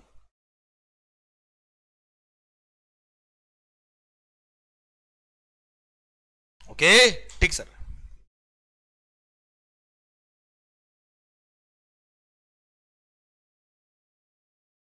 डन, माहौल, done. Done done done done. Okay. सरकार, एक मिनट एक मिनट। अच्छा मैं आपको ये भी बताता हूँ कि अब आपको सिंस कंटेंट शुरू हो गया अपना मेन अब तक तो ज्ञानबाजी थी केवल केवल बेटा। क्लियर ज्ञानबाजी क्या? वो बेसिक इंट्रोडक्शन था। अच्छा अब आपको बुक से भी पढ़ के आना है। अब मैं आपको डेली बेस पे बताता जाऊँगा कि मैंने बुक से आपको कितना पढ़ा है और कहाँ तक आपको आपके एंड में पढ़ के आना है। तो मालिक chapter number one no doubt उसके बहुत सारे पॉइंट मैं आपको ऑलरेडी पढ़ा चुका हूँ, जो मैंने बेसिक इंट्रोडक्शन दिया, उसमें बहुत सारे पॉइंट कवर हो गए, पर सारे कवर नहीं हुए। हम उस चैप्टर को बाद में वापस लेके आएँगे at the end of the session chapter number one में लास्ट में लेके आऊँगा आपके लिए बीच में। क्लियर अभी नहीं वरना क्या तो मोमेंटम आपका जीएसटी का बनना चाहिए बेटा अभी। अभी थोड़ा आपको आ, ओके इसलिए मैंने डायरेक्ट एक्ट शुरू किया चैप्टर नंबर टू से शुरू किया। चैप्टर वन अभी आप बुक से मत पढ़ना केवल कौन कौन से टैक्सेस सब्सिडी हुए जीएसटी में वो आप ज़रूर देख लेना बेटा। अदरवाइज़ चैप्टर नंबर वन से अभी बुक से मत पढ़ना आप। क्लियर सर और हाँ जिन लोगों के पास अब तक बुक नहीं पहुँची है आपको मैं एक इस लेक्चर जो मैंने दिया आपको बेटा उसके फोल्डर में एक पीडीएफ फ़ाइल शेयर कर रहा हूँ। क्लियर? उससे वो चैप्टर आप देख लीजिए बेटा टेम्परी जब तक बुक आप तक नहीं पहुँचते तब तक बेटा। Okay sir chapter number two आपको शुरू करना है। चैप्टर नंबर टू में आपको कहाँ से और कहाँ तक पढ़ना है, वो मैं आपको बताता हूँ मेरा मालिक। आइए सर। ये रहा। Chapter number two levy of GST sir ये इंट्रोडक्शन है। ये इंटरेस्टेड इंटरेस्टेड को डिफाइन किया है सर ठीक है सर इंटरेस्टेड और इंटरेस्टेड मैंने बताया ना आपको, क्या होता है? ये जस्ट डिफाइन क्या, आगे पढ़ेंगे जब आईजीएसटी एक्ट तब और शिद्दत से प्यार से पढ़ेंगे इसको हम बेटा। ये सेक्शन वन ओके सर ये यूनियन टेरिटरी को डिफाइन किया कौन कौन सी टेरिटरी यूनियन टेरिटरी कहलाती बेटा? Andaman, Nicobar island Lakshadweep, Dadra and Nagar Haveli and Daman Diu, Ladakh, Chandigarh and other territory बेटा। ये सब यूनियन टेरिटरी कहलाती है और ये हर यूनियन टेरिटरी में यूटीजीएसटी एक्ट अलग से अप्लीकेबल होता है। हर यूनियन टेरिटरी में अगर within the state supply करते हो तो सी सीजीएसटी प्लस यूटीजीएसटी लगता है बेटा। अच्छा सर जम्मू एंड कश्मीर, दिल्ली और पुडुचेरी, ये तीनों भी यूनियन टेरिटरी है बट ये तीन यूनियन टेरिटरी ऐसी है जिनका खुद का स्टेट लेजिस्लेचर है बेटा। इसलिए दिल्ली, पुडुचेरी और जम्मू एंड कश्मीर स्टेट कहलाते for the purpose of GST और वहाँ पर। सीजीएसटी और एसजीएसटी लगता है अगर इंटरेस्टेड सप्लाई होता है तो बाकी यूनियन टेरिटरीज में अगर आप सप्लाई करोगे तो within the state within the union territory तो सीजीएसटी और यूटीजीएसटी लगेगा बेटा ओके सर ठीक मालिक अच्छा मैंने यहाँ लिखा है आपके सिलेबस में केवल सीजीएसटी और आईजीएसटी एक्ट के प्रोविज़न ही आते हैं बेटा इसलिए एसजीएसटी एक्ट आपको पढ़ने की ज़रूरत नहीं है और आप इस बुक के जो प्रोविज़न है वो सीजीएसटी और एसजीएसटी में ही डील करेंगे एसजीएसटी नहीं पढ़ेंगे बेटा ठीक है ये रहा वो लेवी कलेक्शन का charging section section number nine ये रहा। अच्छा ये दे रखा है बैरेक पार्ट बेटा। ये सेक्शन नाइन जो दे रखा है ना, बेटा, ये बैरेक पोर्शन दे रखा है sub section one two three four five आप चाहे तो बैरेक पार्ट नहीं पढ़ेंगे, चल जाएगा। डायरेक्ट आप एनालिटिकल डिस्कशन से पढ़िएगा, चलेगा, बेटा। बुक की लैंग्वेज याद करने की ज़रूरत बिल्कुल भी नहीं है। बिल्कुल भी बुक की लैंग्वेज याद करने की ज़रूरत नहीं अच्छा यहाँ से पढ़ना, सारे पॉइंट आपको समझ में आएँगे, जैसा मैंने बताया आपको। अच्छा अलग अलग गुड्स और अलग अलग सर्विसेज़ पे अलग अलग रेट ऑफ़ टैक्स नोटिफाई करिए। रेट ऑफ़ टैक्स आपको याद करने की ज़रूरत नहीं है। कौन सी गुड्स पे क्या रेट है, कौन सर्विस पे क्या रेट है, वो याद करने की ज़रूरत नहीं है। वैसे broadly category of rate of tax कुछ गुड्स और सर्विस पे रेट ऑफ़ टैक्स ज़ीरो दे रखा निल कुछ पे one point one two five percent one point five two point ये सी जीएसटी की रेट बेटा। इक्वली एस जीएसटी और सी प्लस एस एड करेंगे तो आई जीएसटी बन जाएगा। Two point five percent six percent कुछ सप्लाईज पे नाइन परसेंट है, कुछ पे फोर्टीन परसेंट है। हाँ ना बेटा? पर ये भी आपको याद नहीं करना है। आइडिया के लिए रेट ऑफ़ टैक्स मैंने बताया आपको। ओके ठीक, वो पाँच गुड्स फिर नाइन थ्री रिवर्स चार्ज अरे हाँ है ना भाई। फिर सर इसके अंदर मैंने नाइन फोर भी कवर कर रखा बेटा। बिल्डर वाला एग्जांपल बेटा। ठीक है? Sir then ECO Swiggy Zomato याद आया बेटा? क्लियर डन ये सेक्शन वन के बारे में बता रखा बेटा मैंने आपको। आईजीएसटी एक्ट के लिए बेटा। फिर आईजीएसटी का सेक्शन नंबर फाइव जो सेम है बेटा, हमने जो पढ़ा, ये भी अगेन बैरेक्ट पार्ट दे रखा आप बैरेक्ट पार्ट नहीं पढ़ेंगे, चल जाएगा बेटा। रेफरेंस के लिए दे रखा है, आपको पढ़ना पड़े कोई दिक्कत नहीं बेटा। पर एग्जामिनेशन पर्पज के लिए इसकी लैंग्वेज याद नहीं करेंगे, चल जाएगा बेटा। आप डायरेक्ट यहाँ से शुरू करेंगे, माहौल के साथ समझ में आएगा, कोई तकलीफ़ नहीं सर। एक एक चीज़ मैंने आपके लिए कवर करी बेटा। ओके क्लियर ये यहाँ तक। ओके और सर नेक्स्ट हम पढ़ेंगे क्या? The term supply section number seven which is the taxable event under GST पर। हाँ यहाँ तक आपके एंड पे होना चाहिए मतलब होना चाहिए। देखो सर, मैंने आपको बोला एक ही काम किया। जो मैंने आपको आज पढ़ा है वो सेम डे आपके एंड पे रिवाइज होना चाहिए तो मज़ा आएगा, माहौल बनेगा और ज़िंदगी मस्त हो जाएगी बेटा आपके लिए। क्लियर सर, आपको अगर बुक अब तक रिसीव नहीं हुई तो आपके जो लेक्चर का फोल्डर है बेटा, इसके अंदर गूगल ड्राइव पर जाके देखेंगे आप तो आपको ये चैप्टर मिल जाएगा पीडीएफ फॉर्म में बेटा। माहौल के साथ पढ़िए, मस्त होके पढ़िए, खुश होके पढ़िए विच इज़ मोर इंपोर्टेंट और समझ के पढ़िए। लैंग्वेज याद करने की कोशिश मत करिए okay done done done done मिलते हैं ब्रेक के बाद। चलिए सरकार, यहाँ तक आपके एंड पे करके आइए, पढ़ के आइए बेटा। माहौल ज़बरदस्त, शानदार बाबा टेक केयर एंड क्या लिखा है? माहौल।